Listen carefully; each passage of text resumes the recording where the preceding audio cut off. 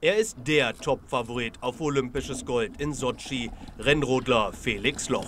Für den Thüringer sind die Spiele am Schwarzen Meer nicht die ersten. Bereits 2010 in Vancouver ist der viermalige Einzelweltmeister allen davongerodelt. Der amtierende Gesamtweltcupsieger ist für die Konkurrenz einfach zu schnell.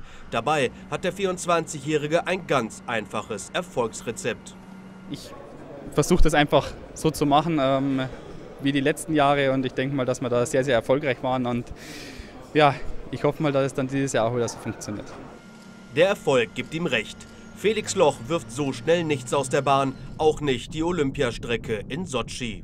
Mir gefällt die Bahn wirklich sehr gut. Ich fahre da sehr, sehr gern, weil sie ist, sie ist anspruchsvoll, aber hat auch so ein paar kleine Tücken also, und auch wieder ein paar, ja, ich sage mal Stellen, wo man mal kurz entspannen kann und das taugt mir eigentlich wirklich sehr gut.